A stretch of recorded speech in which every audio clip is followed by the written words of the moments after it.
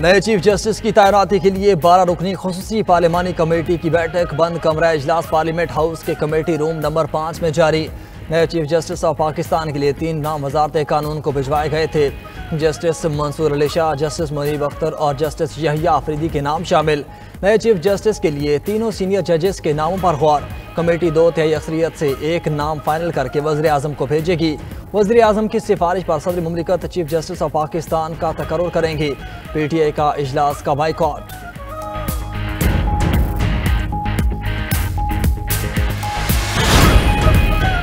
आइनी तरमीम के प्रोसेस को गैर कानूनी समझते हैं। Chairman P T I barrister Gohar ने कहा कि सियासी कमेटी ने फैसला किया है कि हम इस प्रोसेस का हिस्सा नहीं बनेंगे। स्पेशल कमेटी में सूबाई सतह पर आइनी बेंचेस के क्याम की तजवीज़ नहीं आई थी। सूबाई सतह पर आइनी बेंचेस का क्याम अचानक ही सामने आया।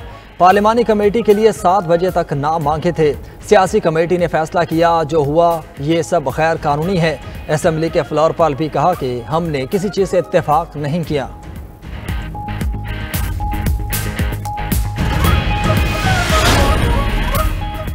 सीनियर तरीन जज को चीफ जस्टिस ऑफ़ पाकिस्तान ना बनाया गया तो पूरा पाकिस्तान ब्लॉक कर देंगे। वजर अला खैबर खाली अमीन, घंटापुर की धमकी। आनी तरमीम के हक में वोट देने वालों को पार्टी से निकालने का भी ऐलान किया कहा। लोटों, गदारों और बोजिलों की पार्टी में कोई जगह नहीं। जिन्होंने तरमीम के हक में वोट दिया या नहीं, उनके खिलाफ कार्रवाई होगी। बानी पीटीए के नाम पर वोट लेने वालों से अवाम बदला लेंगे। छब्बीसवीं आयनी तरमीम आज़ाद अदलिया पर हमला है, इसे नहीं मानते। इसके खिलाफ एहतजाज करेंगे। पिशावर हाई कोर्ट ने वजी अली अमीन गंडापुर की बीस रोज़ा राहदारी जमानत मंजूर कर ली।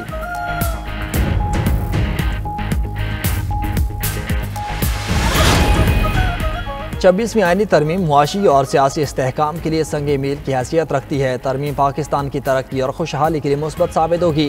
वजी अजम शहबाज शरीफ की काबीना इजलास में गुफ्तु कहा आवाम के कानूनी मामला कई साल अदालतों में रहते हैं। आइनी बेंच की तश्कील से ये अल्तवा ख़त्म होगा।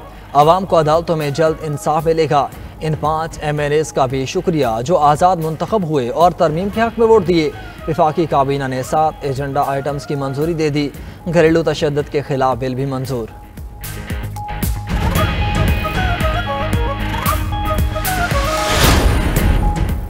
के पी हुकूमत की तरजीह आम आदमी नहीं, जलाओ घिराव मार धाड़ और इंतशार पैदा करना है। अली अमीन घंटापुर भी जल्द अपने लीडर के पास जेल में जाएँगे। वजर इतलात पंजाब अजम बुखारी का अली अमीन घंटापुर के बयान पर अदमल कहा, हर हफ़्ते विफाक पर चढ़ाई करने का आपको कॉन्ट्रैक्ट मिला हुआ है। आप तीन अदालत इश्तिहारी और मफरूर करार पाए जा चुके।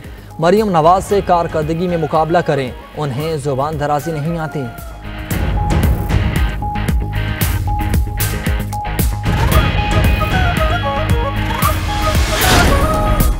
गवर्नर पंजाब ने अदालती असलाहत की मंजूरी सियासी जमातों और आवाम के लिए खुशी करा दे दिया। कहा कि बिलावल भुट्टो ने मुसलसल चार रातें जाकर कामयाबी हासिल की। जजेस ने ज़ाती सोच के तहत फैसले किए, जिनसे मुल्क का नुकसान हुआ। जजेस के मुँह से निकलने वाली बात कानून बनने का रवाज ख़त्म करना होगा। मेयर कराची मुर्जा वहाब कहते हैं कि अगर वजी अजम वजरा और वकला का एहतसाब हो सकता है तो जजेस की परफॉर्मेंस देखना भी बुरी बात नहीं। ये तरमीम वक्त की अहम ज़रूरत थी। अगर पी टी आई चाहती तो वो तरमीम के खिलाफ वोट डाल सकती थी। तारीख में लिखा जाएगा कि मुखालफत सिर्फ़ चार लोगों ने की।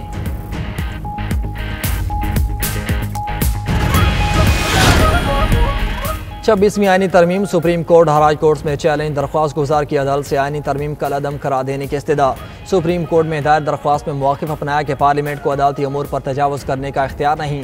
हालिया आइनी तरमीम आइन के बुनियादी ढांचे और इदारों के दरमियान इख्तियार की तकसीम के खिलाफ है। आइनी तरमीम के ज़रिए चीफ जस्टिस की तैनाती का तरीक़ाकार तब्दील कर दिया गया। छब्बीसवीं आइनी तरमीम सिंध हाई कोर्ट में भी चैलेंज।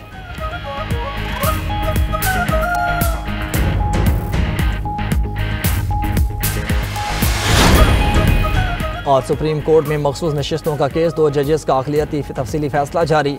चीफ जस्टिस काजी फैज़ ईसा और जस्टिस जमाल मंदोखे ने अखिलती तफसीली फैसला जारी किया। चीफ जस्टिस काजी फैज़ ईसा का अखिलती फैसले में इजाफी नोट भी शामिल। लिखा अक्सरियती फैसले में केस की बुनियादी चीज़ों को नज़रअंदाज किया गया। बदकिस्मती से नजरसानी समात के लिए मुकर नहीं हो सकी। फैसले में आइनी खिलाफ वर्जियों और कोताहियों की निशानदेही मेरा फ़र्ज़ है। उम्मीद करता हूँ कि अक्सरियती फैसला देने वाले अपनी गलतियों का तदारक करेंगे।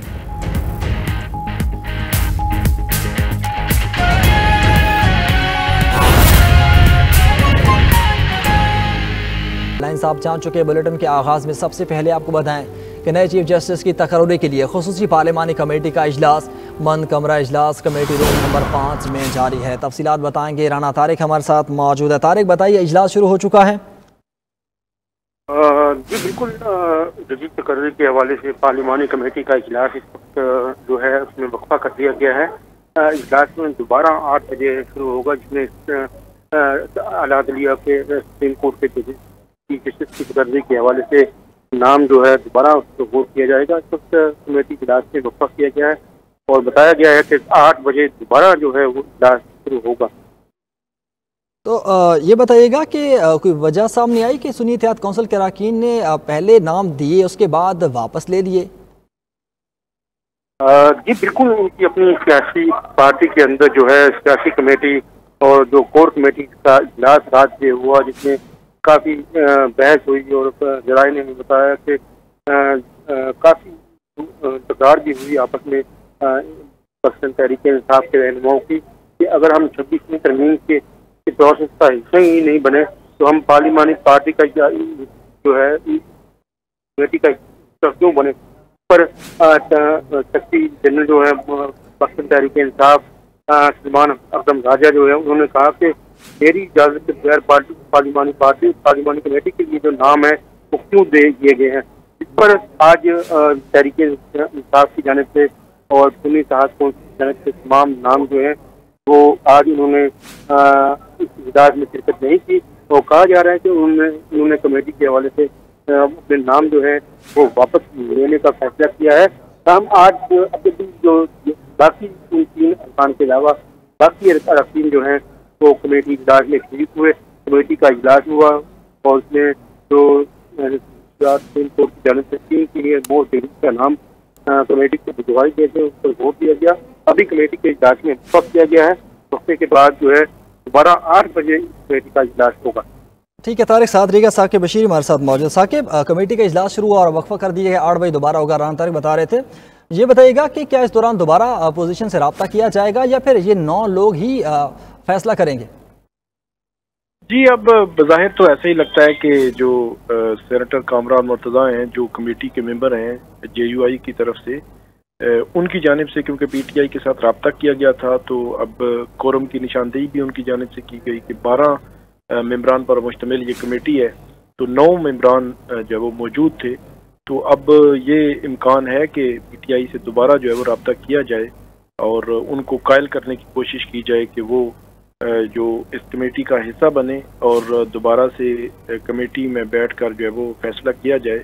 क्योंकि एक चीज़ जो बज़ाहिर ऐसे लग रहा है कि उनको भी इस चीज़ का इदराक है कि चीफ जस्टिस ऑफ़ पाकिस्तान की जो तैनाती है वो जो कोई भी, जो भी हो मुतफ़ा हो तो ज़्यादा जो है वो अहम है।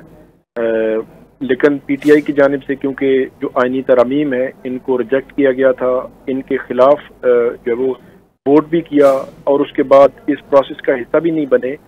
तो इसलिए पीटीआई की जो सियासी कमेटी है, कल जो उनकी जानब से फैसला किया गया कि वो इस कमेटी का हिस्सा नहीं बनेंगे, जो सीजेपी की जो तैनाती के प्रोसेस को आगे बढ़ाने के लिए बनाई गई है।